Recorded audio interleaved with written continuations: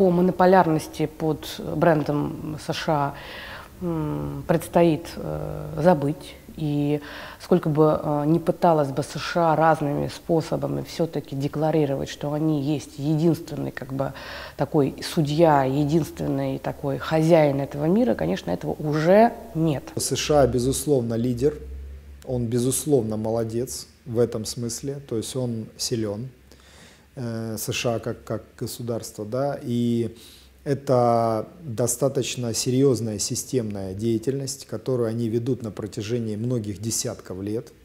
А Россия много раз пыталась противостоять такому воздействию на мировую общественность. Да, Россия много раз пыталась занять место флагмана в этой истории, проиграла все разы.